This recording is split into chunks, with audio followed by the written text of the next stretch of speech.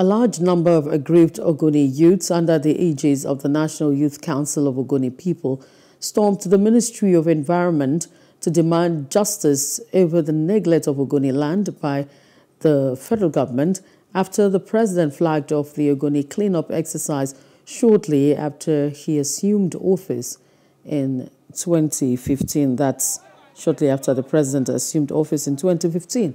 The youths vowed to occupy the ministry until all their demands were met by the Minister of Environment, whom they claimed to have written to about the plight of the people.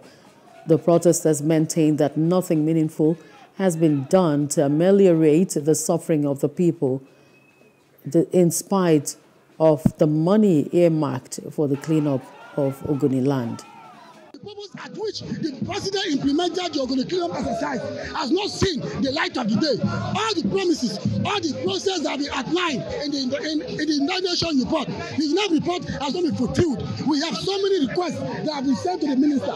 None of these have seen the light of the day. Before now, we send a letter to the minister and we told the minister that this is our constraint, this is our challenge. Do this for the people of Ogoni. We know the demand. And one of our demand was that the full implementation of local content in the the award of contract in board over 60 percent or 40 percent should be given to Ogoni people.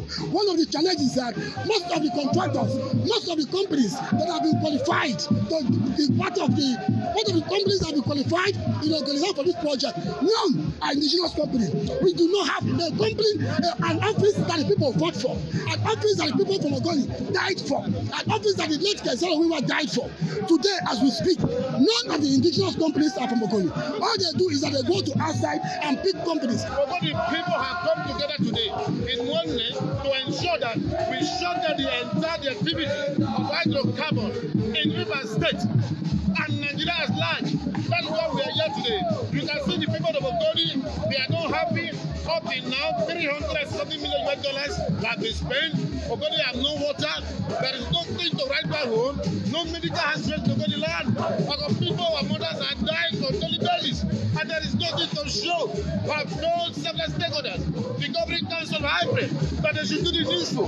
The king, all the king of Ogoni land, has speak, has spoke to them on the needful for the interest of the people of Ogoni.